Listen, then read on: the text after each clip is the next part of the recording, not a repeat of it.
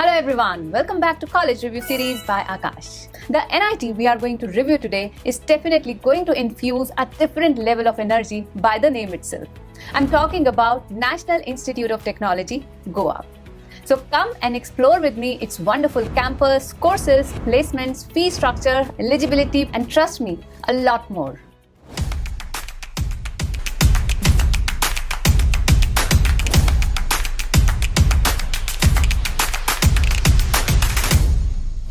National Institute of Technology, Goa, was founded in 2010. As it is one of the 31 National Institute of Technology in India, the NIT is recognized as an institute of national importance. Now let's talk about its wonderful campus. NIT Goa has recently shifted to its new and permanent campus, which was inaugurated by Prime Minister Narendra Modi on 6th of Feb 2024. The NIT holds 90th rank in the engineering category by NIRF 2023. The campus includes three hostels for boys and one for girls, and all are Wi Fi enabled, a bank, medical facilities, canteen facilities, various complexes and a computer center, sports facilities such as badminton court, grounds for cricket, football, volleyball, and basketball, and yes, along with a central library. For students' engagement and exposure, the NIT conducts quite a few fests annually. The annual Techno-Cultural Festival Savyas is generally held in February. Other cultural activities includes Freshers' Night, Institute Alumni Meet, and departmental gatherings. Department also hold workshops, guest lectures, and various competitions. Coming on to the courses at NIT Goa. The flagship programs offered at NIT Goa is its BTech program, which is a four years program.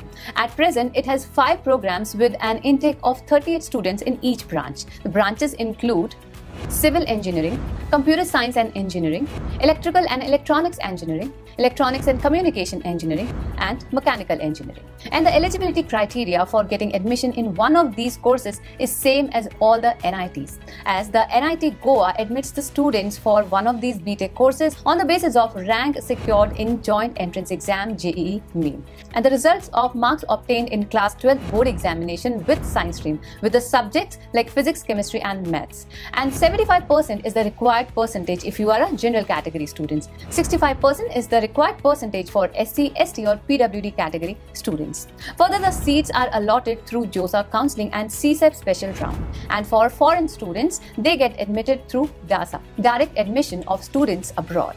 Coming on to the fee structure now. The tuition fee at NIT Goa for BTech program is 62,500 for general and OBC category students with family income more than 5 lakh rupee per annum. Whereas the tuition fee is 28,833 per semester for general and OBC category students with family income between 1 to 5 lakh per annum. At the very same time, the tuition fee is nil for general and OBC category students with family income less than 1 lakh. And the same is for ST, SC or PH category of students students as the tuition fee for them is also nil. Further, for general category students, the entire fee for the BTech program is 5.3 lakh. And if you are opting for hostel and mess facilities, then you'll have to pay 2.5 lakh extra. Now it's time for Placement Statistics 2023.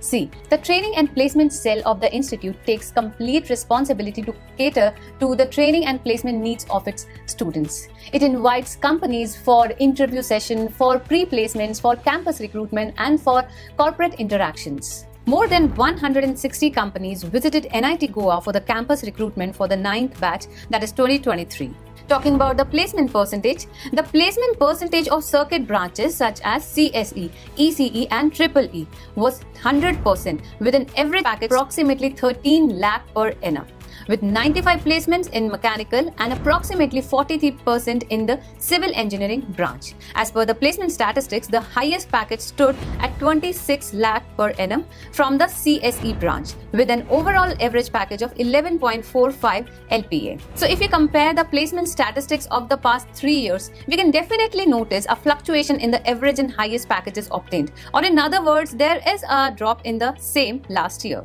However, to be able to maintain 100% placement percentage in itself is a remarkable percentage. Now let's talk about cutoff 2023 at NIT Goa.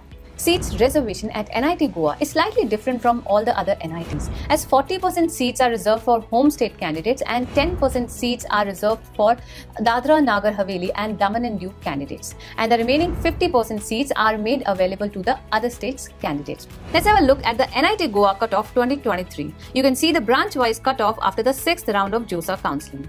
Let's start with the civil engineering branch. The rank for candidates from Goa stopped at 1,14,874. For the home state, the closing rank stood at 47,155. And for other states, the same stopped at 62,197.